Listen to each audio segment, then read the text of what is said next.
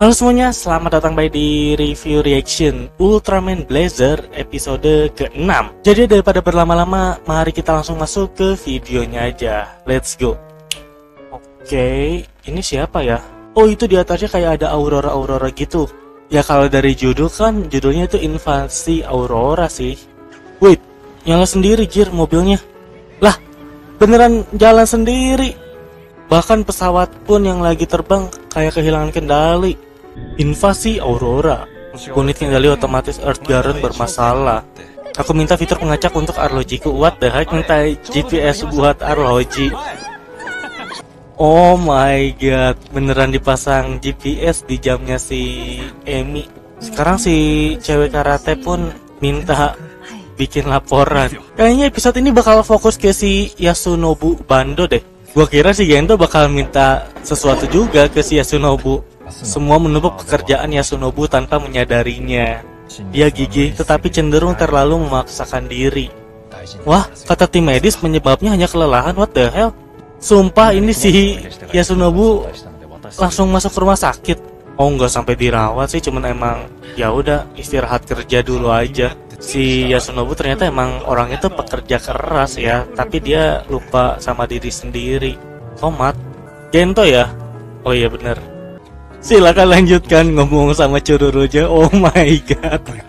Wait. Oke, okay, ada yang datang lagi. Tamra perlu merasa canggung. Wait, alien. The hell? Aku tak berniat menyakitimu. Aku Herbie dari planet kanan. Loh, tahu si Bando, coy. Aku tahu segalanya tentangmu. Lu anggota Scar, terus lu juga selalu ke sini dan juga ngasih nama Cucuru, eh Cururu. Anjir, the heck? Langsung oke, langsung bersinar-sinar gitu. Anjir, six pack banget. Pesan untukmu dari Kururu. Menurut planet kanan, semua mesin punya perasaan. Coba pikirin, mereka hebat tapi dipekerjakan seperti sapi perah. Oh my god, dia itu udah kerja 24 jam tapi masih harus dengerin keluhan lu. Aurora Beam ini membangunkan emosi negatif. Aku penyebab semua kerusakan mesin-mesin. Tes invasi bumi yang akan datang. Aku mau kau membantu kami. Kau dan Edgaran, what? Aku sudah mempelajari Scar. Oh my god, ternyata dia selalu ngelihat Earthgaron bertarung. Aku menyadari sesuatu untuk mengeluarkan potensi Earthgaron. Anjir, sempat ditembak. Yang kubutuhkan hanya kau bergabung dengan rencana ini. Anjir, dikasih baju. Inilah jawabanku. Oh, oke. Okay. Oh, nggak bisa nembak.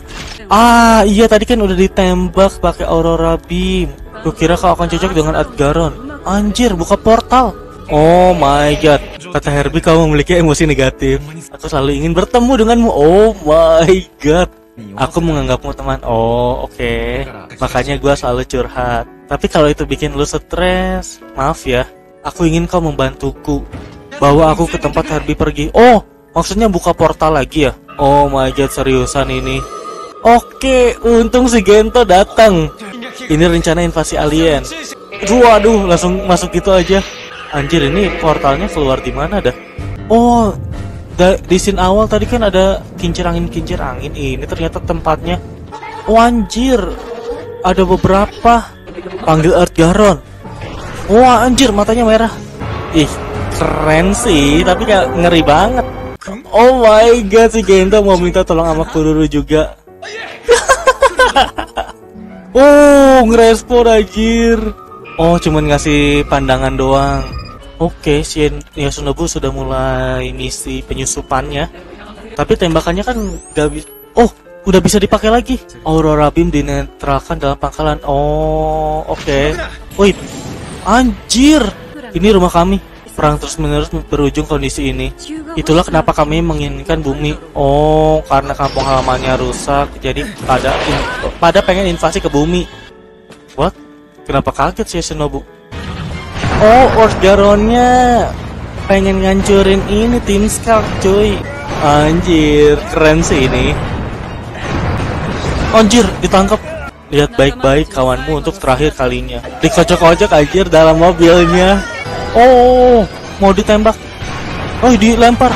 Oh, anjay, keren sih. Gua suka tuh. Bahkan efek kaca mobilnya tuh beneran pecah ya pas dilempar. Jika kamu menembak, tembaklah aku. What the hell?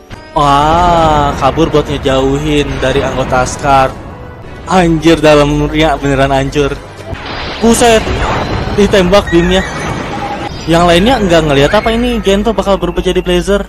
Mungkin karena udah gerak terlalu jauh jadi nggak kelihatan lagi ya si Gentonya di mana. Wow, gila langsung ditabuk jatuh ke laut. Anjay, bakal bertarung di air nih. Oke, musuh utamanya tuh suku Herbie dan juga Earth Garon yang dikendalikan. Sumpah padahal Earth Garon tuh tidak sekuat itu loh kalau dipakai sama tim Scar. Earth Garon, kau sungguh luar biasa. Lah, kabur si Yasunobu. Wah, pengen ngantin Earth Garon. Ultraman bukan musuhmu. Kau tadi ciptakan untuk ini bukan? Anjay. Oh, oke, okay, berhasil dihindari. anjir. Waduh, malah kena Yasunobu. Buset. Jatuh, meninggal. Cu, ini Oh, oke, okay. untung berhasil ketangkep. Eh, Earth Garon ini bukan Ultraman. Oh my god. Oh, kesadar kesadarannya kembali. Wah, mau dihancurin sama si Blazer ya ini Herbie. Wah, itu markasnya. Oh, mau dihancurin beneran. What the fuck? Apa itu? Anjir, keren amat. Langsung Aurora lagi ya di langit. Lu suka kerja tapi lu kerjanya tuh terlalu ekstra kata si Gento. Namun kita adalah tim. Jangan ragu untuk ngomong sama kita. Dan ya itu dia reaction untuk episode 6 dari Ultraman Blazer. Seriusan ini episode yang seru banget coy. Jadi ternyata selama ini pada saat Earth Garon bertarung ada satu alien yang selalu melihatnya, yaitu Herbie dari planet kanan. Bisa dibilang karena planet kanan ini hancur, akhirnya rasi Herbie ini pengen menginvasi bumi. Salah satu kekuatannya mereka itu bisa mengendalikan mesin dengan Aurora Beam. Si Herbie ini sangat tertarik banget dengan Earth Garon karena dia merasa kalau Earth Garon yang selama ini dia lihat belum mengeluarkan kekuatan yang seutuhnya.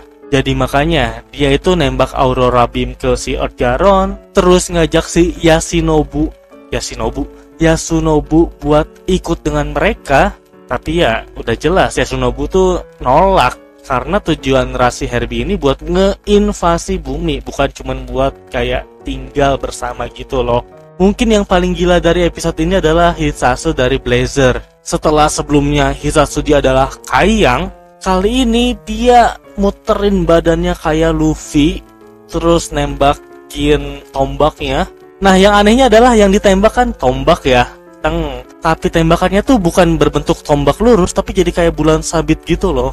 Di satu sisi keren tapi juga kayak ini kok si Blazer bisa aneh-aneh ya badannya dan ya kayaknya cukup segitu aja kali ya untuk review episode 6 dari Ultraman Blazer. Sekali lagi terima kasih banyak buat yang udah menonton dan sampai berjumpa di video-video berikutnya. Bye bye. Ciao.